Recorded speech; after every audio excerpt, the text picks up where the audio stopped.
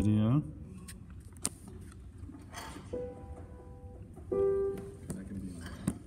A little bit. Okay.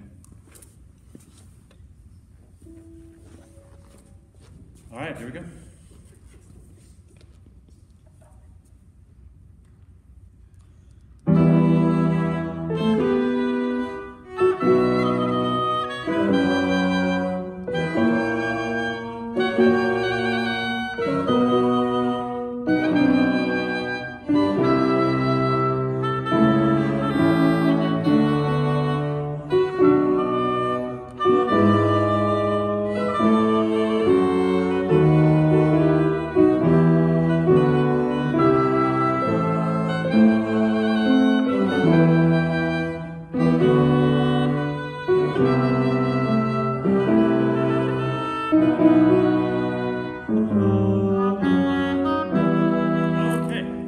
So first of all, you stopped swaying.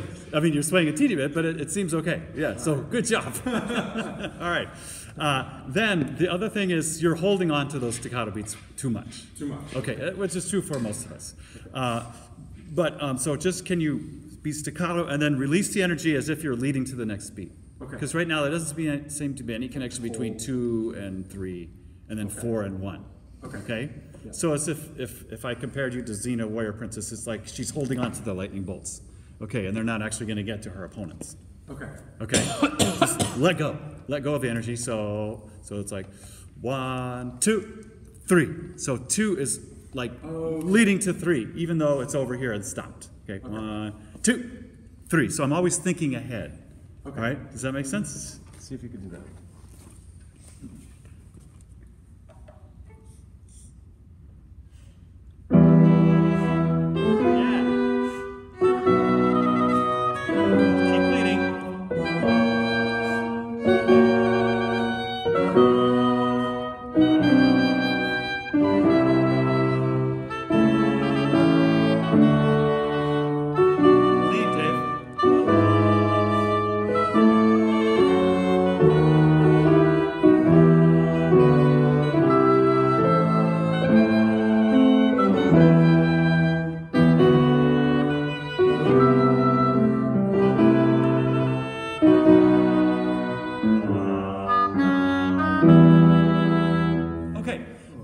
That was much better. It wasn't hundred percent of the time, but but most of the time it was. I felt that.